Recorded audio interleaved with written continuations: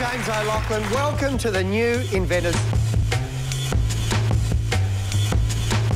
Every good idea started off as a crazy idea.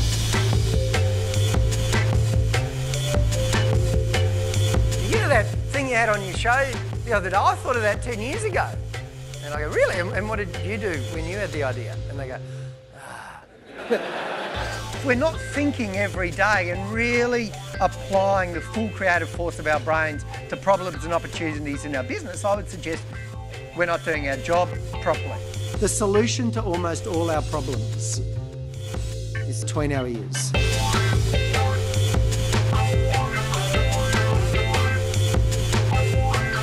James O'Loghlin. He's the host of the TV program The New Inventors.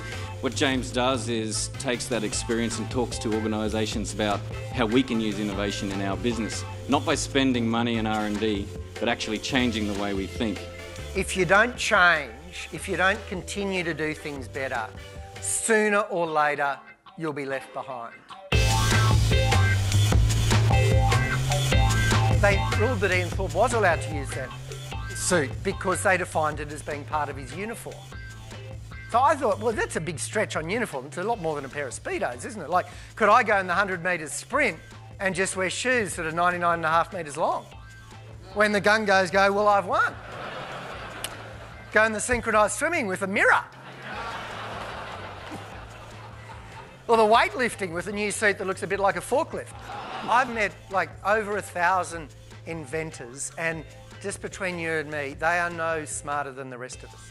But what inventors do have is A, a willingness to, to think and a willingness to value their ideas.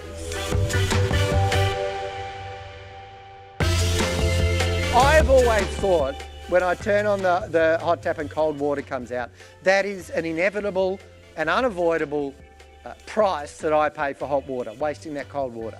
There's nothing I can do about it. This guy thought, wait, wait, wait, wait a minute, wait a minute, wait a minute. He invented something. He put a thermostat in the pipe. And so all the water below a certain temperature doesn't come out the hot tap, it goes into a tank. Nothing comes out the hot tap until hot water comes out. Next time he turns on the cold tap, the cold water he just saved comes out. Think how many tens of millions of people have turned on hot taps and never even thought of that as wasted water. So sometimes Things are right in front of our, our faces. We don't even see them as problems. We just assume that the way things are are the way they have to be.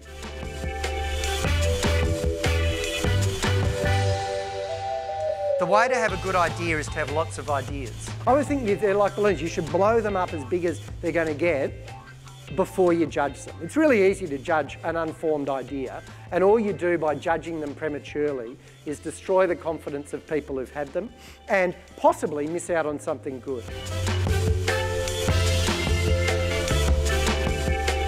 You've got to harvest the ideas of your people because no one knows your organisation like your people. And if you listen to 20 ideas and 19 of them are terrible, but one of them is something that solves a problem or creates an opportunity for you, then listening to all 20 is something that's a very beneficial use of time.